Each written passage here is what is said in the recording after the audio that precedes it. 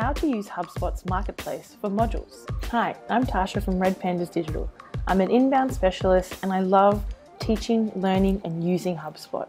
What I want to show you today is how you can use HubSpot's marketplace to insert modules into your landing pages and website pages.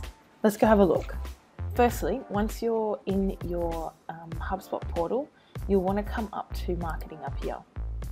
And then further down into files and templates, you'll see marketplace. So give that a click and then that's going to open up the marketplace. So within HubSpot Marketplace, you can get all sorts of things. Particularly today, we're going to come over here to filter products and we're going to come all the way down to modules. Now I want to look at just free modules today, but of course there are plenty of really cool paid modules as well. So um, have a look at those in the future, definitely. And particularly, again, I want to find modules that work with website and landing pages. So you can see my filters have come up here like breadcrumbs, and then I can basically see all of the free modules within the marketplace that I can deploy immediately. Now, I mentioned the accordion toggle before. This is this one here, and the other one is the tab module. So these are definitely the two that I've been using the most, my favorites. They work really well for my clients. But as you can see, there are a bunch more as well. And then of course, there's all the paid ones. So for today, I just want to show you how we're going to add in one of these free modules. Now, let's use the tabber. So we go view details. Obviously, it gives you a bit of, you know, a bit of a rundown on what this module includes, how it looks when it's in the uh, builder. And then we're just going to simply go to get module for free it shows you that it includes one license for whatever the portal that you're in. Done.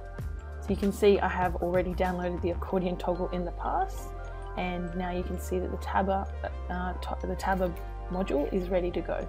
So we can obviously do things like uninstall it, writing a review, view further details and whatnot. But what I want to do now is show you how you can add it into a landing page that you might be creating. So here is a landing page, just a test one that I've created earlier. I'm just going to refresh the browser um, to give HubSpot the time to kind of put that new module into the system. And then you can see here my great landing page one. I'm going to click through to it. And where I want to add my tabber is underneath this rich text box here. So over here where it says edit modules, I can actually add in a new module. Now this is just a side note um, the template that I'm using for this landing page actually has a flexible module here. So that's why I'm able to add these modules into this page. Uh, what I'll do is, is I'll share some resources on how to make a module flexible within your design manager um, in case you're not seeing something like this when you want to add in your new module. So what I want to do now is I want to add in the new module and I should be able to just search for it here like that and then add it in. And I can see the module now is sitting within my landing page. And if I scroll down bang there it is. As you can see it obviously takes on the CSS of the site. And then I can just come in here and easily edit tab 1 these are great for things like noticing costs or information. And you can save and go to the module list. And you'll see there that it's popped up. And obviously you can add in a bunch of tabs, you can change inactive tab colors, inactive tab texts, and apply those changes.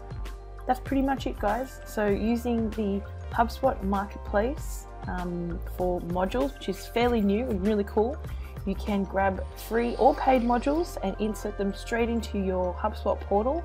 Use them on your website pages, your landing pages, emails as well. Um, there's free ones, there's paid ones. I'm loving the HubSpot free ones at the moment. Um, you know, are you using them already? If you are, let me know. What do you do and not like about them? I'm really keen to find out. Um, otherwise, guys, that is my HubSpot how-to.